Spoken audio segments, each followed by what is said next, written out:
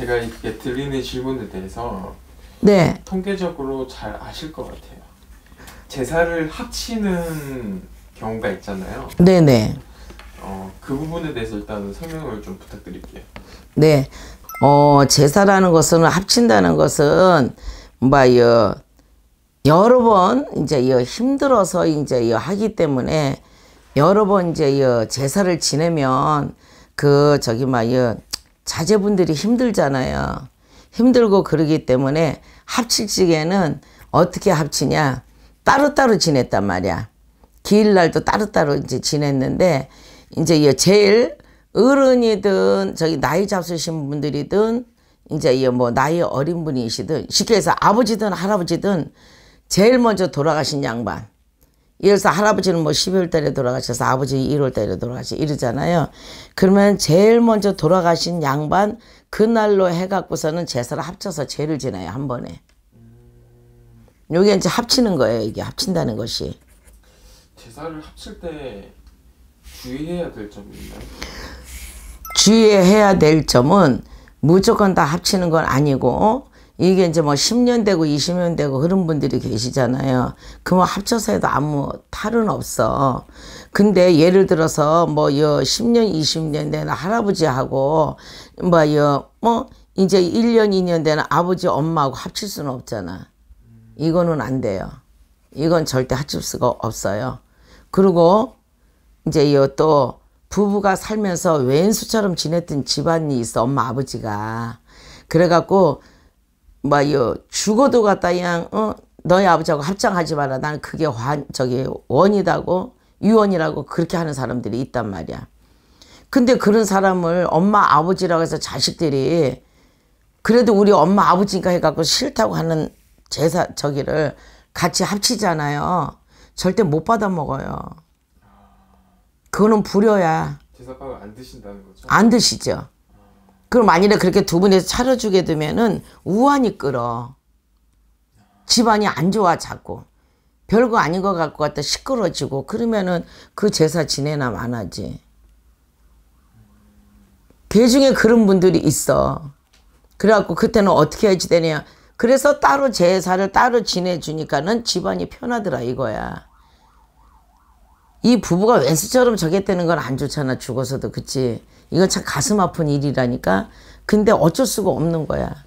싫다고 그렇게 막 했기 때문에.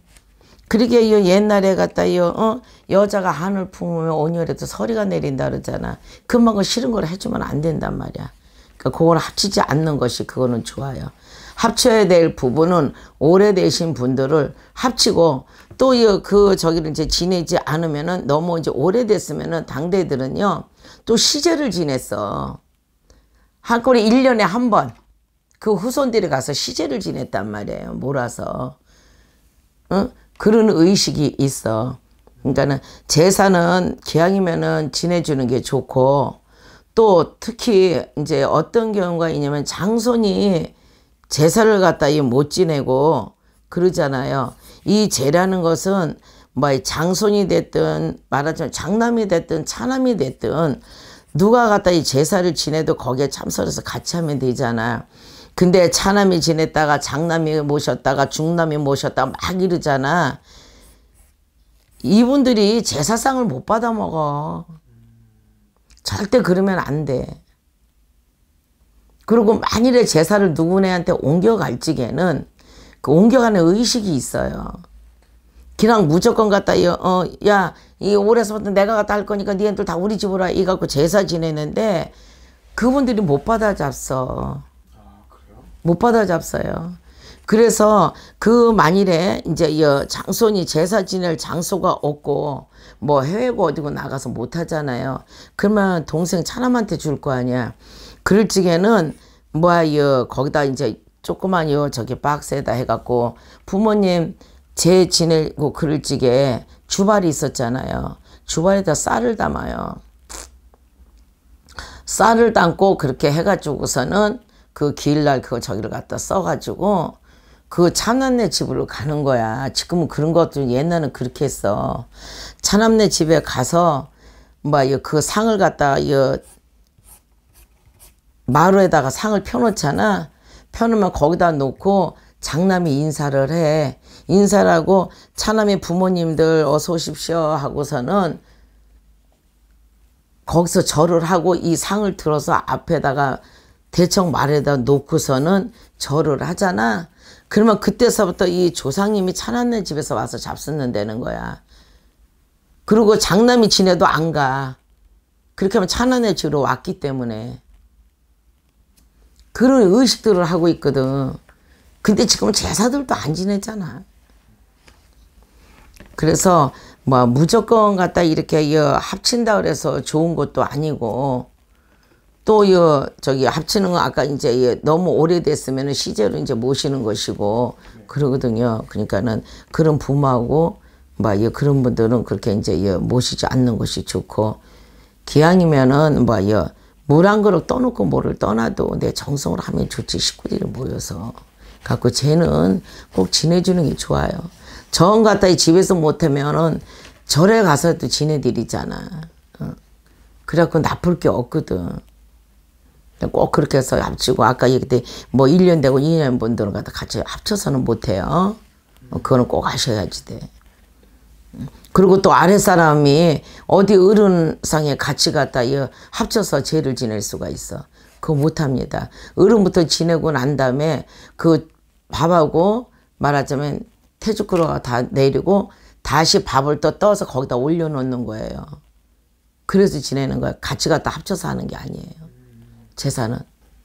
그러면 지금 현재 응. 이렇게 주의해야 될 점을 어, 고려하지 않고 응. 합치신 분들도 계실 거잖아요. 그렇죠. 다시 이렇게 그냥 쉽게 얘기해서 네.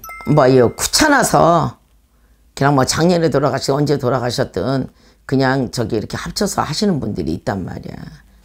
근데 그렇게 하면 안 돼. 근데 할아버지하고 아버지 어머니까지는 돼. 할아버지하고 아버지 어머니까지는 돼. 근데 그 밑에 자손들도 있잖아. 죽은 자손들도 있을 거 아니야. 삼촌도 있을 거고 누구도 있을 거고 이 집에 장손이라면은 네. 지날 거 아니에요. 그러면은 상이 저기 두 상이 안 가도 일단 그분들이 잡수고 난 다음에 예를 들어서 할아버지 할머니 아버지 어머니 죄를 지내서 차례를 그러면 이분들 이제 그다 내가잖아요.